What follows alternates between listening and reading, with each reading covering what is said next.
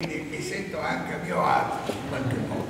Allora, no, lui ha una domanda iniziale, perché poi parlerò magari delle riviste, no? Eh, perché?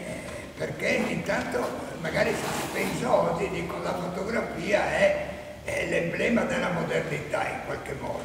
Un giovane a 20 anni come me la guerra si occupava no, dipingevo, mi occupavo di cinema, che era, anzi il mio sogno era quello di fare film, avevo anche una, una, una cinepresa che poi barattai con una macchina fotografica e quindi iniziai a fare il fotografo. Ma non, la fotografia mi interessava indipendentemente dal fare l'immagine, da quello che è la problematica, la fotografia come mezzo moderno, contemporaneo no?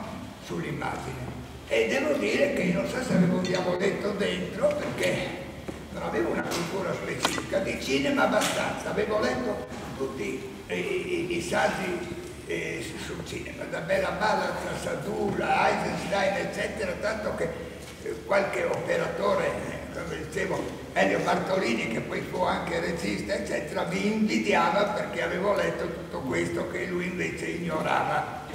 Allora, Diavoletto qual è? Per esempio, io cominciai a scrivere e le riviste di fotografia molto underground sono state importantissime per creare anche un plafond di interesse sulla fotografia, per esempio a, a, a dire che la fotografia era il linguaggio moderno, dall'uomo della, della, della, preistoria che eh, disegnava un, un bisonte su, su, su, nella grotta alla fotografia e sembrava una cosa affermare che la fotografia era il linguaggio della modernità. Niente da fare, oggi è ovvio, palese, banale.